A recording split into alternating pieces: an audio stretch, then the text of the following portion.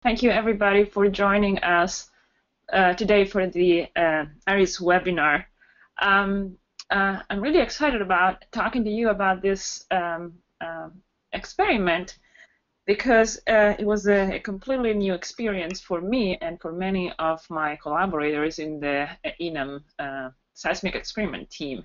And uh, before I uh, I, I, move on to uh, the presentation, I want to actually mention the uh, ENAM, which stands for Eastern North America Margin uh, um, team. And uh, so this is actually by no means my own um, effort. It was a very much concerted effort um, by uh, the lead PI of the um, experiment, which was um, Harm van Avendonk at UT Austin, and um, and then Donna Shillington at Lamont, Margaret Benoit, and then Brandon uh, Dugan, uh, Jim Gaherty, Matt Hornbach here, at SMU, Dan Lizarralde, uh, Maureen Long, Steve Harder, and Bessel, and Gail Christeson. So all these people uh, took part in writing the proposal together and then went to the field to acquire the, the data that I'm going to uh, present today and also to uh, bring together the community around this uh, relatively new type of um, experiment, which is a, uh, exactly a community experiment.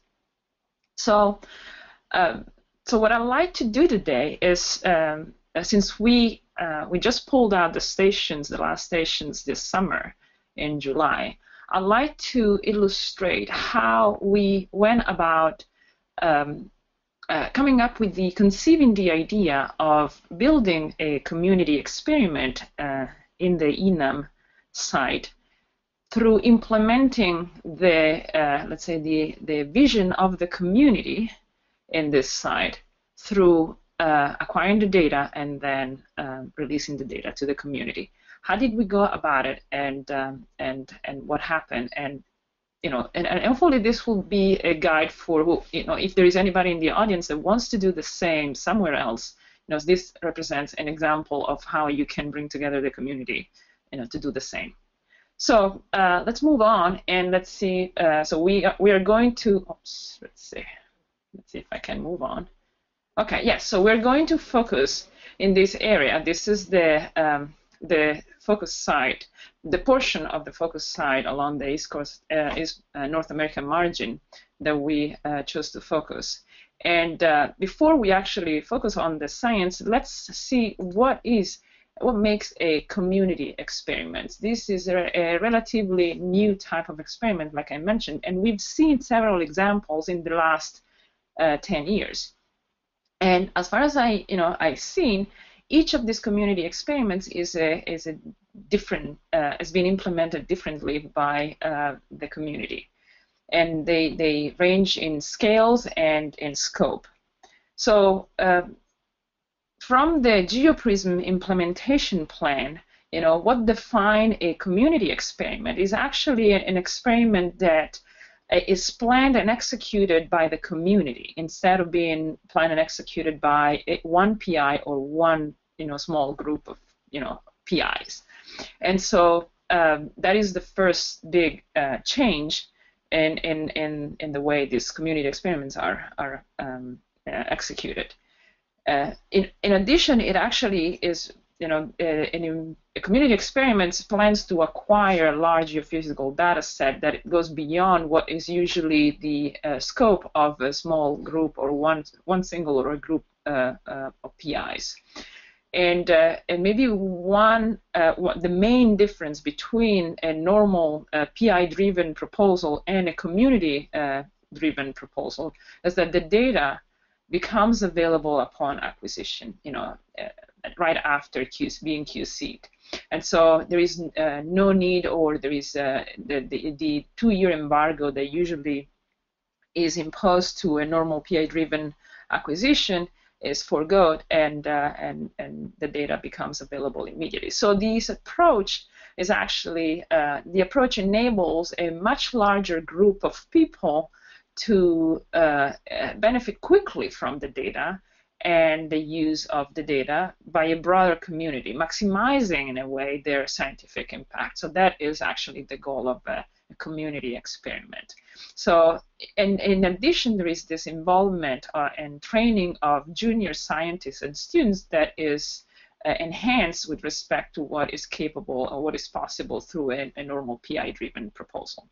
And so that's why, for example, because it so it's a it's a mostly a, a, a an experiment that is mostly driven by the community and uh, it's uh, the goal of which is to acquire a data a data set that is then used by the community for for science purposes and education purposes. And so for example in in our uh, community experiment we did not propose to analyze the data beyond basic uh, data reductions and so what, why did we choose the uh, the uh, east east coast of the uh, North American margin so there were actually uh, there was a synergy, uh, an almost unique type of synergy between uh, convergence in time of several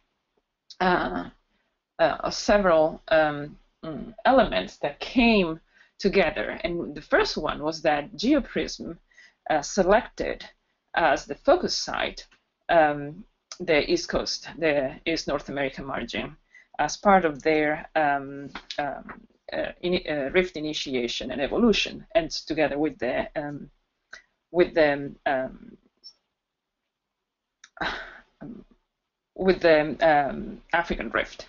And so, as part of that, you know, it became uh, clear that there was a need to gather active source and broadband seismic data um, in, in the same portion of ENAM to link all the geologic processes.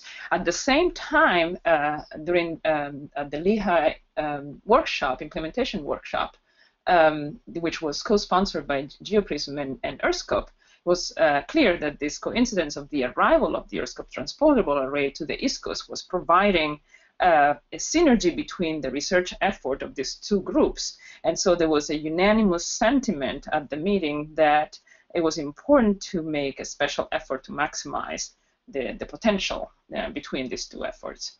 In addition, there was uh, the USGS plans to acquire multi-channel and OBS data beyond the 200 uh, nautical miles from the coast to fulfill the requirements of the Article 76 of the UN Convention on the Law of the Sea to um, um, define the U.S. continental shelf and maritime uh, zone. And so that was also an additional effort that was going to be uh, taking place in the same location uh, that that uh, enhanced the um, the reason why we wanted to do this, and also an, an, increased interest from the energy companies, and also an additional need from perceived from the science community that we needed to grow and strengthen the seismological community that uh, you know to go in the field and and build it from from the base a community that will oriented rather than lab oriented. And so that's why uh, we felt that um, there was a, this uh, um, impulse from the community from the base to just uh, uh, drive uh, the attention in this in in this location. And there were actually in the geoprism um, they were already spelled out many of the uh, objectives, scientific objectives, to focus on uh, in these locations, and many of them were, you know, generic in, in in in the sense that we wanted to know what controls the architecture of rifted margin in general, you know, both during and after the the breakup, and you know, and these are just this is just a list that you can find in the GeoPrism implementation plan, and I'm not going to read them all, but you know, many of them are associated with the inheritance of the structure, how the you know how the processes that drive rifting interact and evolve and lead to the uh, final rifting, rifted margin architecture, how the magmatism and the rift structure vary depending on the segment along the rift, and and then how you know eventually the rift evolves through time, and you know eventually how it evolves, you know uh, even today and of course, you know, I'm, I'm, I'm not even spending too much because we'll be here all afternoon. But you know, one of the inheritance, uh, one of the many um, inheritance um, uh, observations that has that have been made, for example, is this onshore strong transition in the structure of the Appalachian orogen, you know, between the southern and the uh, northern Appalachian, that corresponds, you know, on that, that we observe on land, that corresponds offshore in a different in in the um, elastic thickness of the lithosphere, which is reflected in the just position, so juxtaposition of strong and weak blocks, and in this segmentation that you know still play a role in controlling the amount of sediments deposited offshore.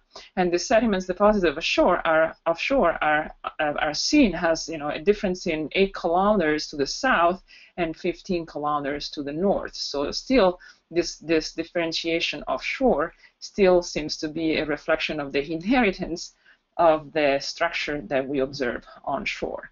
And then of course you know the margin has been uh, we call it a passive margin, but there is a, an increasing awareness that the ENAM hosts a, a range of active processes, and obviously uh, all these processes like landslide and triggering of landslide that can be triggered by uh, uh, earthquakes or depositional processes like uh, hydrate, you know, dissociation. All this uh, uh, margin is actually still very active and uh, and and this activity, both you know land, um, landslide and, and and and earthquakes, can have a substantial impact on this coastal region that are densely um, populated. So there was actually a, a sense from the community that this was a site that could uh, be investigated in in, in on, under many scale and uh, uh, both in terms in terms of uh, temporal scale and spatial scales. And so, in order to understand the role of the inheritance and magmatism, both in the uh, rifting and in the rupture of the um, uh, of the continent, and also to understand the evolution of of the of the rifting process, and also to understand the surface processes, there was a need, which was actually the, the science goals from, for, for uh, uh, this North America margin community experiment, there was a, a recognized he, a need to uh, make observation that would extend from the Paleozoic Appalachian terrains all the way through the continent-ocean transition and onto the um, ancient, ancient uh, oceanic lithosphere. So that's something that will span the entire mature passive margin. And then across this expanse, we needed to, we realized we needed to go from the crust well into the mantle. And as we did this, we needed to go, you know, achieving this goal to, if we wanted to understand the roles of inheritance, the magmatism, the, the, the recent evolution of the rifting and the active processes, we needed to make observation that will span large spatial and temporal scales, and that all these observations needed to be co-located. Now, obviously, if we wanted to do this, this is these are the you know these are observations that go at, at a scale and know, multi-scale, multi-resolution that go beyond the ability of a single PI-driven proposal uh, uh, effort. And so this is actually one of the main goal, one, of the main reason why we um, came together and we, uh, as a community, to support a, a community uh, experiment. And so the ultimate uh, expected outcome is a, a, suite of integrated images. You know, as I said, multi-resolution that image uh, the, the sediments the sedimentary processes and the crustal processes and then the mantle seismic structure so that we can link the deformation at the surface in the crust and at depth you know so that we can link everything from the surface into the mantle and so that we can actually understand the the uh, all the the integrated portrait of this crustal and mantle lithosphere and how they they they, they interact together. So we, uh, you know, this is an image that was um, acquired in um, in uh, much earlier than than than today. This is an old uh, paper by Dan Lizarralde and Steve Holbrook, uh, one of the earliest and one of uh, one of the only acquisition along this portion of the um, of the East Coast. And this shows the uh, the rifted margin with the seaward dipping reflections and the uh, anomaly in the lower crust showing this fast um, uh, this fast base of the of the crust associated with the seaward dipping reflections, suggesting that the synrift magmatism has a dramatic expression in the crust. and, and we expect possibly a complementary expression in the mantle. And obviously this is what we wanted to, to look for. And so, so these are the scientific goals that we were after, and this is why we um, we defined a community experiment. And also there was, you know, the other uh, goals of the uh, ENAM community experiment was to provide uh, an open access data set that will be useful for a variety of science targets. And so this will be available to the community upon acquisition and will allow a number of people uh, to take advantage of the marine and land seismic data and through a, a broad training program. So in the uh, experiment and in the proposal, we built a, a very um, uh, elaborate uh, training program, both during the cruise and the land acquisition and post uh, field acquisition. And so this was actually the idea to enlarge the base of users, both for the marine and the land uh, seismic data. So how did we uh, how did we build this uh, and implement this this experiment? So the history of the the um, uh, ENAM community experiment started in October 2011 at the um, GeoPrism uh, implementation um, meeting and um, at Lehigh University, where the community experiment idea was actually first suggested. And this, as I said, was um, the meeting where uh, was sponsored by the um, EarthScope and GeoPrism, and this is where the community uh, identified several corridors along the along the ENAM margins. And um, and this is where the synergy between the USGS, the EarthScope, and all the other uh, opportunities first was identified. Uh, eventually, uh, this is where Harm and uh, myself were identified as the um, mm, uh, we, we were volunteered, I will say, to take the lead and um, and seek the um, the community input to further this idea into an implementation plan. And uh, in December 2011, uh, at uh, the full AGU, we um, we started discussing the scope and, and, possible scenarios for seismic data acquisition along the along the margins. And, uh, and eventually, we gathered the community. And in the spring of 20, 2012, we um, using the GeoPrism website, we um, we asked the uh, community to uh, define the um, uh, which area of the ENAM to select for a, a specific uh, seismic experiment. And in May, we defined uh, through a straw poll, poll, we used to select a target area among the three uh, corridors that were identified initially at the Lehigh workshop. And so the community selected the, the, the region, the focus site, and in July 2012, the, a group of uh, volunteers was identified the proposal to GeoPrism, and a proposal was submitted um, to the panel. And in April 2013, almost a year later, we uh, got notification of funding uh, recommendation. So we further went back to the community to um, uh, get input about what type of experiment design was ideal for the need for the scientific need.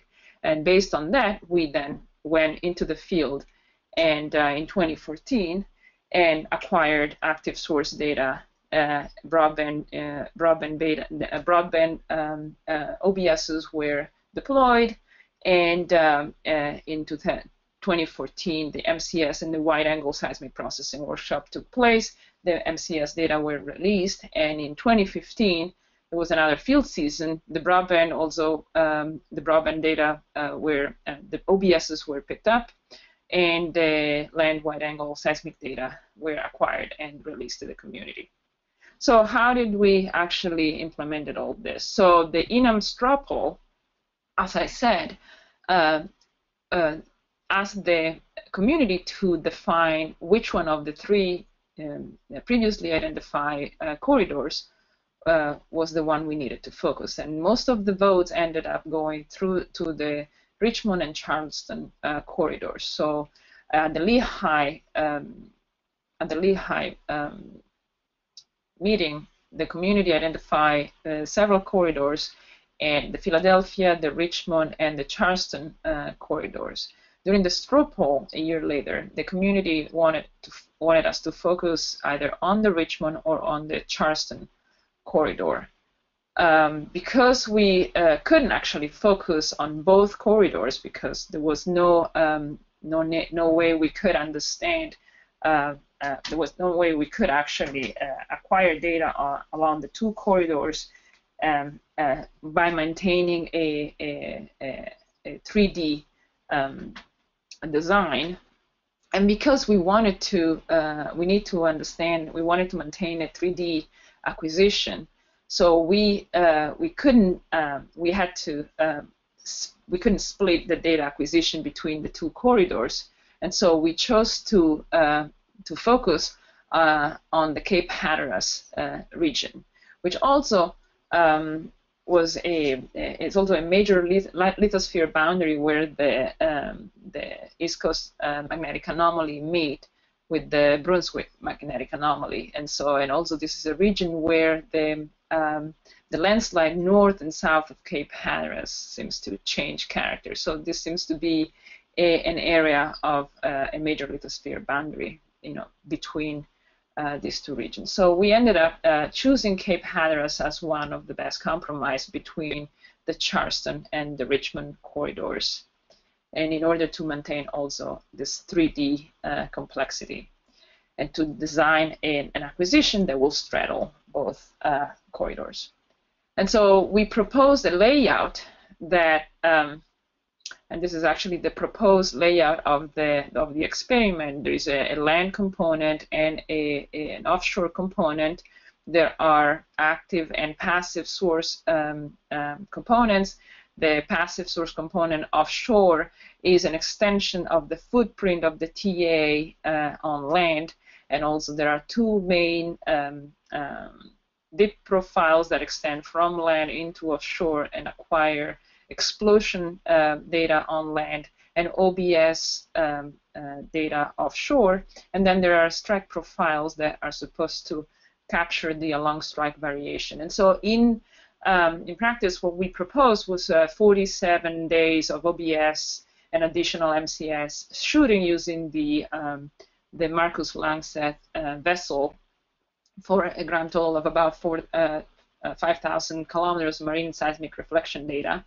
And we had planned three cruises with a total of 58 days on a separate vessel. We requested the NOR uh, for OBS deployment and recoveries. We requested 40 broadband OBSs on two aerial arrays with different densities for the OBSs, uh, for the broadband OBSs, and uh, 60 short period OBSs from the OBS uh, facility uh, to be deployed along six refraction line for a grand total of about 137 drops. On land, we requested about 105 um, uh, RefTek one, uh, 130s um, along the three profiles, augmented by um, RT, uh, uh, RefTek 125s and about um, uh, seven large explosions of 500 to uh, 1,000 uh, kilos each. So this is actually what we uh, proposed, and uh, and you uh, usually never get what you propose. And so this eventually, uh, what is important to capture here is that you see that the sum is usually larger than its part. Obviously, the broadband OBS array were planned to record the OBS and the MCS shots and so you, you the, the sum of, of the acquisition was uh, much uh, bigger than than its singular component. So we ended up actually being uh, funded for a smaller amount, and therefore we had to um, um, redesign the acquisition experiment. And uh, so we scaled it down to 33 days of OBS and uh, and less, uh, only 47 um, short period OBSs. And so we lost one line along uh, one of the strike line on land. We shortened the, the two uh, dip lines on land, but um, um, without losing much of the design, we can we could still address most of the main questions that we uh, were uh, asked. And so we felt that we could lose uh, some of the structure, some of the design on land because uh, EarthScope was going to address most of uh, most of the questions uh, on land, and so we focused mostly on the offshore part. And so eventually, this is actually what we ended up acquiring, and uh, so this is the design. We ended up acquiring um, uh, offshore, onshore um, uh, profiles along two main deep lines, profile 1 and profile 2 to the south. And these profiles uh, uh cross the um, uh, continental uh, lithosphere, across the stretch continental crust, crust. They, they cross the East Coast magnetic anomaly and they extend into the um, the uh, new oceanic crust and then into the um, normal oceanic crust and you know in, of the Atlantic. And then we ended up acquiring uh, um, profiles that are located along the um, magnetic anomaly, both the East Coast magnetic anomaly and the Blake Spur magnetic anomaly. And what you see here are both the MCS, the multi-channel seismic reflection profile acquired by the Marcus Langseth um, vessel, and all these triangles are actually the short period OBSs deployed along them. And on land, we also acquired both um, um, the short period um, stations, the uh, RefTek 130s, and also the uh, ex explosion profiles. And um, so the way we acquired the data, so we, and this is the timeline of the data acquisition, because of some problems with permitting, we had planned to acquire the data in, in one single uh, field season. We ended up having to uh, divide the, the, field season in, in two years. So we acquired first the data offshore and the onshore-offshore recording. So this is actually the plan for the summer of, uh, for the fall of uh, 2014. We deployed the OBSs in April 2014 aboard the Endeavour, and the recovery happened just last this May. And then um, we also deployed a broadband off, uh, onshore station, these uh, three stations here that were uh, picked up on in May 2015. And then um, we acquired, like I said, the main um, offshore um, acquisition occurred during the September-October 2014, and this consisted in, in uh, shooting uh, multi-channel seismic reflection data along these uh, profiles, both uh, uh, crustal scale and also high resolution along some of the lines with 25 meter shooting spacing, and also acquiring a wide angle uh, reflection uh, refraction data using short period OBSs along some of the some of the profiles, which are these um, triangle um, stations here along this profile, we also recorded the, the shots of the Langseth along these two profiles using the um, R, uh, 80 RT-130s from the PASSCAL um, uh, Instrument Center. And so we deployed 40 uh, and 40 along the two profiles. And then we went back the fall uh, this summer, and then we acquired the uh, explosion experiment on land. And because of a new technique that uh, Steve Harder and the source facility uh, experimented this year, we were able to, uh, instead of using just seven shots, we were able to um, shoot actually 11 shot points along the two profiles. And and these are the two profiles that were acquired this summer along the two uh, deep lines. And so, so these are actually the uh, data spans, not just the crustal scales we acquire, not just crustal scale uh, data, but also we acquire high resolution seismic reflection data across some of the um, uh, shallow structures like uh, landslide and salt diapirs and so this is actually a, a data set that can be used by a variety uh, of scientists for a variety of science application uh, for the community. And so in case you're interested in using this data, which is available to the community, these are the people that were in the field and are responsible for the acquisition of each of these components. So if in case you're interested in, in a different um, um, piece of this uh, experiment, these are the people that you are should be free to contact in case you want to know more.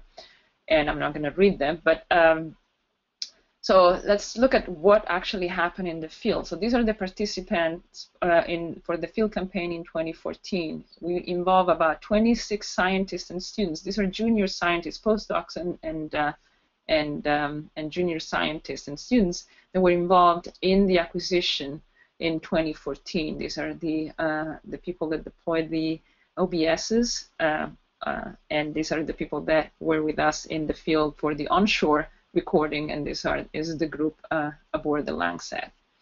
And then, and then the participant in 2015, this is just the onshore uh, acquisition, the land shooting. These are um, the land acquisition team, and this doesn't actually show the group from the USGS that um, uh, got funded to do a piggyback and was able to deploy um, um, 320 uh, RT-125 uh, in addition to the 400 uh, RT-125 that we got uh, funded to deploy, so allowed, allowing us to have a, a station uh, interval of only 250 meters instead of the planned 500 meters. And then this is the shooting team, the land uh, seismic source team. This is the source team that goes and uh, in advance before everybody goes to the field and prepares the the detonation points and uh, also self-nominated uh, uh, as the Inglori Inglorious Blasters. And this is uh, Dan Lizarralde that is addressing the crew during one of the one of the briefing meeting. And so there were opportunities for training the students, the uh, junior scientists throughout the entire acquisition. so this is actually these are um, slides from Donna that she provided to me. So they were training and participation in data acquisition processes, processing throughout the entire uh, process. This is obviously two um, uh, students being mesmerized by apparently seismic velocity analysis here. And uh, so there is uh, data uh, analysis and data acquisition training at, at every stage. And then here somebody is enjoying just staring at the entire um, seismic uh, panels in the on, on the Marcus Langseth um, uh, main room. And on the Endeavour, this is uh, some of the um, deployment of the OBSs. This is what they did here. I think this is one of the examples of uh, what you can do if you have a GoPro and you're deploying along the shelf. This is an, an instrument. This is, I think, is a Scripps uh, OBS, short-term OBS. And what they did here, they attached a, a GoPro along the um, uh, the OBS, and they what you see here, this is deployed on shallow water, and what you see here, deployment touchdown, as recorded by the uh, GoPro camera and then the anchor release and the surfacing of the OBS and pickup. So there were opportunities for learning, not just for the students, but also, also for the technician. And, uh, and then on land, we deployed the station. Again, this is us deploying the last station. Everybody's happy to be done in the field. Training for, uh, we met with a lot of students in the field, uh, sometime with elementary schools, and um, and then these are the RT1, the 80 RT130s that are being um, downloaded.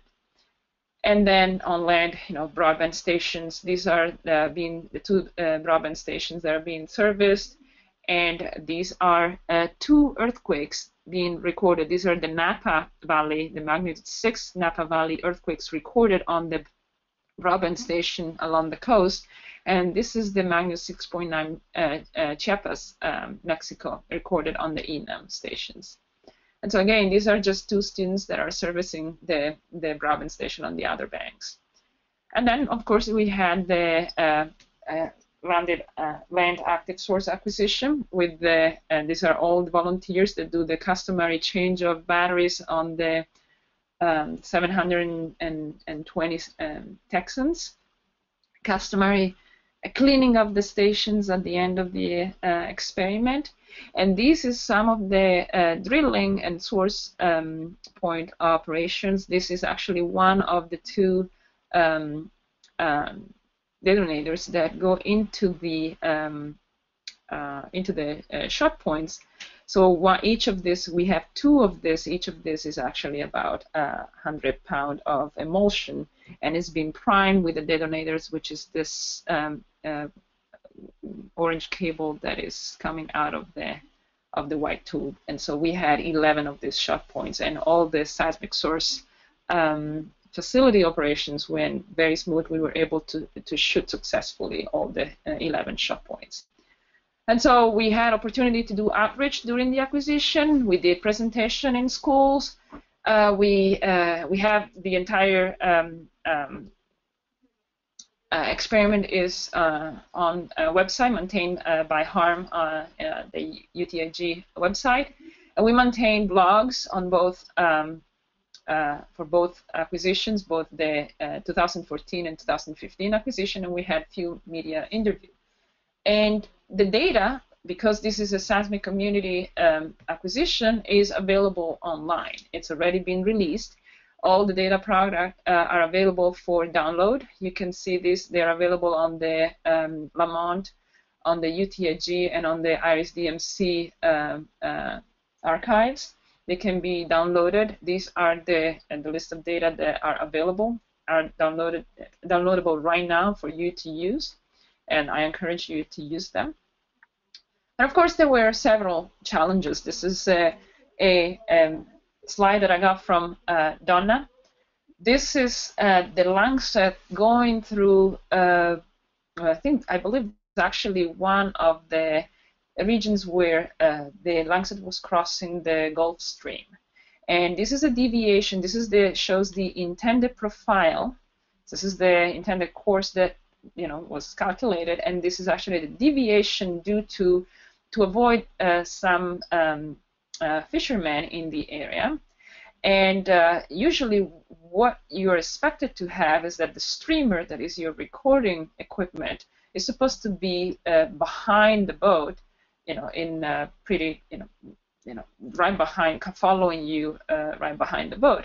Instead, because of the stream, the Gulf Stream, this is the position of the seismic streamer, showing a what we call feathering of about, and I will say, a, a almost 70 degree angle, which is not ideal for uh, seismic reflection data acquisition, but I'm assuming that they um, this is this is all they could do, and they kept uh, acquiring data because the, obviously the the uh, Gulf Stream is very strong in this area, and there is no other way of acquiring data than just to continue acquiring them. Additional challenges, and probably the biggest challenges we had, were uh, complicated efforts involving permitting. In this was uh, uh, included some aspect of the permit that had never been uh, that we had never faced before, mostly combining the combining the onshore and offshore uh, uh, acquisition. And so uh, for us was a very steep learning curve and definitely a learning experience. Okay, so let's look at some data before we conclude. And so uh, I'm going to show you some of the examples from uh, both the um, reflection data, the OBS data, and the land data. So let's start with the uh, marine reflection, multi-channel um, uh, reflection data. So one of the things that we, um, these are uh, all uh, slides from um, Donna Shillington, so uh, these are, I'm going to show you the profile along the Blake-Spur magnetic anomaly. The Blake-Spur magnetic anomaly is a very uh, enigmatic magnetic anomaly uh, located along uh, mature, what we think is mature uh, oceanic crust. And uh, it is thought to represent, this magnetic anomaly is supposed to represent a ridge jump or a change in the direction of the seafloor spreading, but we are not really uh, sure what it really represents. What we, if we, um, this is actually uh, the profile line uh, three. So this is actually this line, and this is north and south. So what you see here is actually uh, a change, a, striking change in uh, uh, in the character of. You see reflection within the the, the crust. In, in, a long strike structure of the of the of the uh, Blake-Spur magnetic anomaly. What I like to show you is actually the uh, the fact that there is a, a pretty thick uh, oceanic crust along this uh, anomaly, and that there are structure reflections in the crust. And uh, probably this data will need uh, a better uh, processing and more accurate processing to really extract more of the uh, details of the structures in the crust. But what is clear is that this is pretty thick oceanic crust.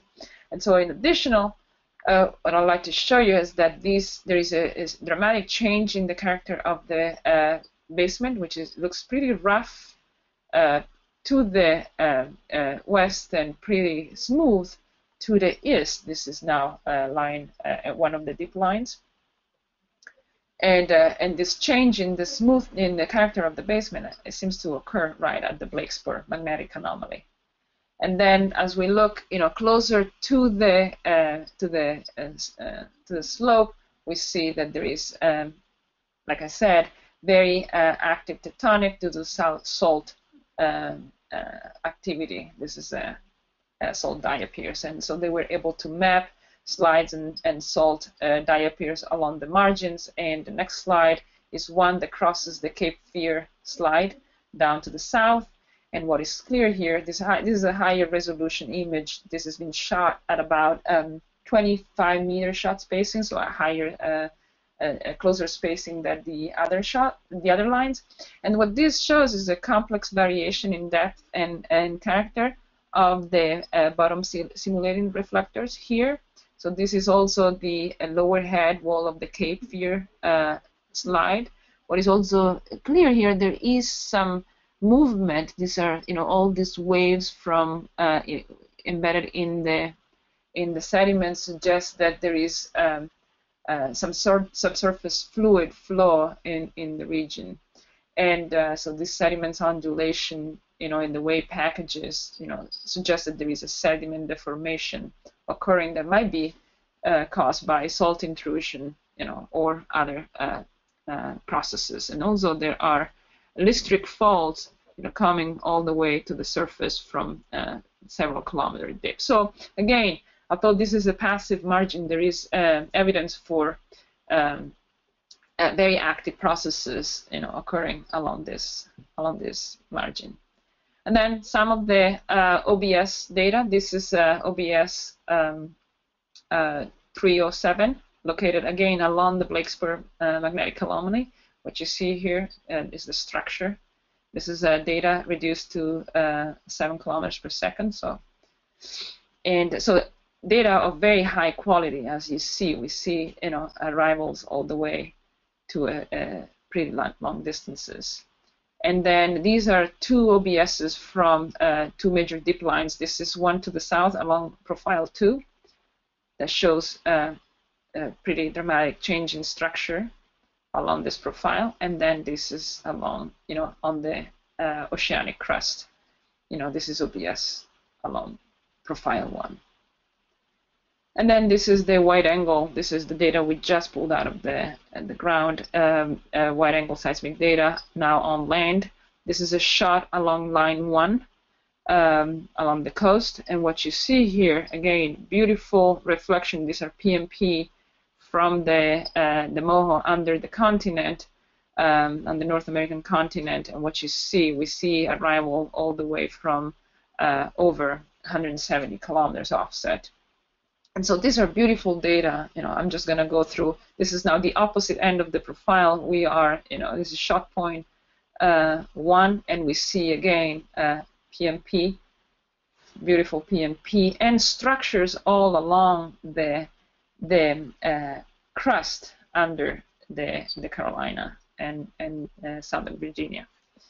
With substantial now, we are along, uh, similarly along profile 2, PMP, very clear structures in, in, the, in the crust of, the, uh, of North Carolina. And finally, I think this is my, my last two slides. You know, again, very clear signal and what you see here, I wanted to show you this. This is now the uh, uh, one of the shot along the coast. This is a Camp Lejeune, you know, and uh, what we see, we see structure, all this diffraction, actually all this uh, refraction along this uh, this arrivals here show probably the edge of the Triassic basins embedded here in the Carolina, uh, along the Carolina um, uh, plains. And so this data is available to you. you. I hope that you are going to uh, make good use, use of it and uh, that you're going to get um, a lot of science out of it. And so with this, I'd like to uh, thank you and thank uh, the NSF Geo uh, PRISMS program for funding this uh, experiment. Obviously, the captain and all the staff of the crews of the Langseth and the Endeavour the OBS groups, Scripps and Woods Hole, and uh, um, all the the Woods Hole, the, the NSF, the North Carolina, and the Lamont Marine Office for uh, the permitting efforts that were enormous and and very complex. And now, obviously, the people in North Carolina and Virginia that hosted the seismic stations and the, and the USGS Earthquake Hazard Program for funding the piggyback um, group that allowed the deployment of 320 stations along the, uh, the two profiles. And with that, I'll take any questions.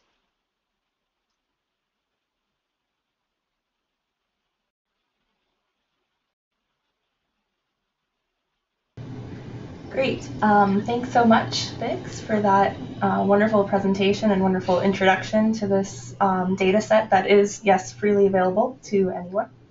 Um, so if you have any questions um, out there, please feel free to type them in and I'll wait here for a little bit. Um, don't currently have any. But while um, I'm waiting on that, I was wondering, Bix, if you could give some advice to students who might be wanting to work on this data. Are there um, materials that they could access from those workshops that they, if they were not able to attend?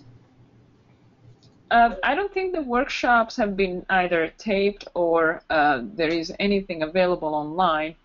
But um, if uh, students are interested in working on this, uh, they should contact any of the PIs or their advisor. Again, the data is available, and so there is really no need, there is nothing that they need to do to work on it. The, each data set has been archived with a report. So there is everything, a field report that explains how the data has been acquired and um, in all details. So there is really no uh, barrier that prevents people from using this material. Great, yeah, thanks. Um, all right, so I don't see any questions. I did just want to point out um, that the um, PASSCAL Instrument Center also uh, lots of effort out there, and I know they're out there listening right now. So well done on great job uh, getting those stations out there. And um, thank you very much, Bix. I also wanted to um, change my screen to my own for a second and show you. Uh, let's see, can you see my screen up there, Bix? Yeah, yes. Okay. So um, can you see the OBSIP website out there? No? Let's see. I knew I'd get something wrong here.